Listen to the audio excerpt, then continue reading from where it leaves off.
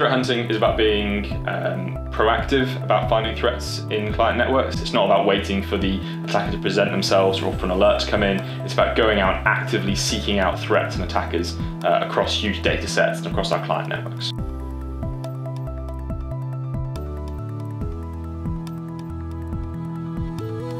If you understand the mindset of an attacker and the mindset of a threat group, even if you do not know the exact techniques they're using, you're going to be a lot better at being able to detect them.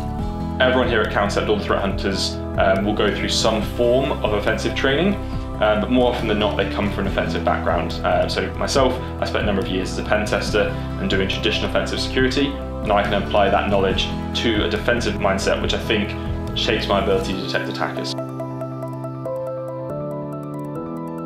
Hacks took place and it took something like 18 months for them to be detected. Now it takes I mean, if it takes 18 hours, that's pretty bad from, from our perspective. We like to detect it in really less than an hour, less than 30 minutes if we're being, if we're being honest.